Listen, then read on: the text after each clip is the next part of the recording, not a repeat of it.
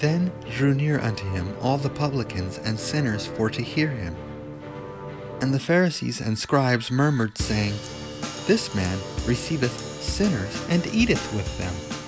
And he spake this parable unto them, saying, What man of you, having an hundred sheep, if he lose one of them, doth not leave the ninety and nine in the wilderness, and go after that which is lost until he find it? He layeth it on his shoulders, rejoicing. And when he cometh home, he calleth together his friends and neighbors, saying unto them, Rejoice with me, for I have found my sheep which was lost. I say unto you that likewise joy shall be in heaven over one sinner that repenteth, more than over ninety and nine just persons which need no repentance.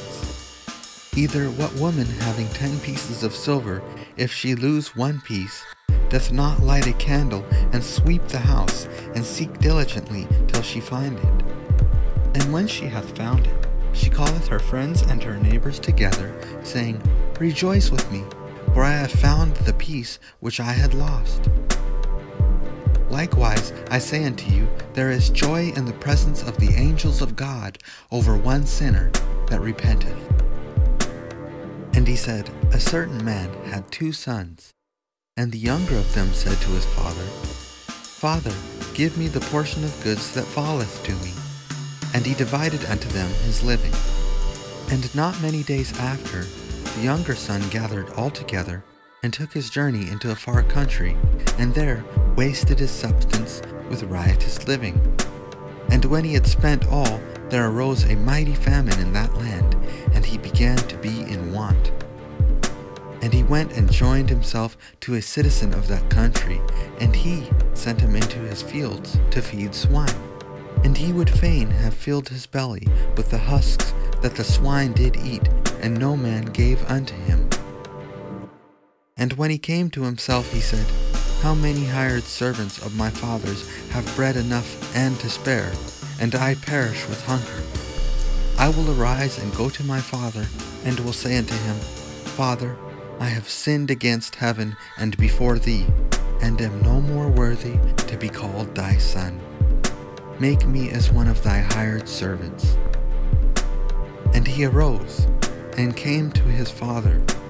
But when he was yet a great way off, his father saw him, and had compassion, and ran and fell on his neck, and kissed him.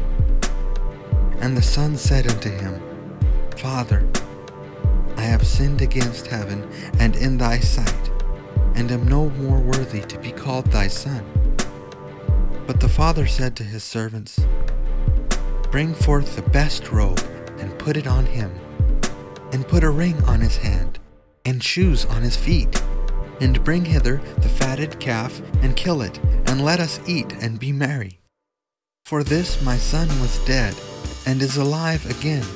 He was lost, and is found. And they began to be merry. Now his elder son was in the field. And as he came and drew nigh to the house, he heard music and dancing. And he called one of the servants and asked, What these things meant? And he said unto him, Thy brother is come, and thy father hath killed the fatted calf, because he hath received him safe and sound.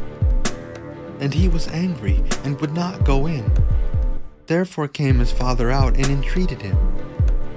And he answering said to his father, Lo, these many years do I serve thee, neither transgressed I at any time thy commandment, and yet thou never gavest me a kid, that I might make merry with my friends. But as soon as this thy son was come, which hath devoured thy living with harlots, thou hast killed for him the fatted calf. And he said unto him, Son, thou art ever with me, and all that I have is thine. It was meet that we should make merry and be glad. For this, thy brother was dead, and is alive again, and was lost, and is found.